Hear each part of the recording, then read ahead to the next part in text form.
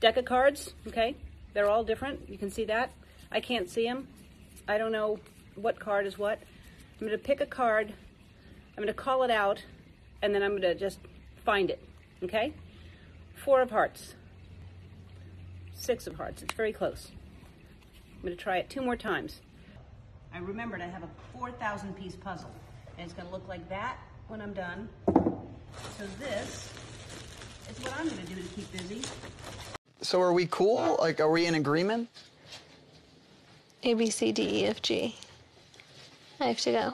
What the heck is A, B, C, D, E, F, G mean? It's just a phrase I like to use. That means Is that a real phrase? the conversation is over. You getting entertained? Look at that beautiful smile she has. Huh? Oh, yes. Oh, yes. The yummies, huh? And we have a good time eating here together. So much more fun than going outside. No more restaurants, okay? No more restaurants. Forget all that. Public gatherings, restaurants. The owl and the pussycat went to sea in a beautiful pea green boat. They took some money and plenty of honey wrapped up in a five pound note.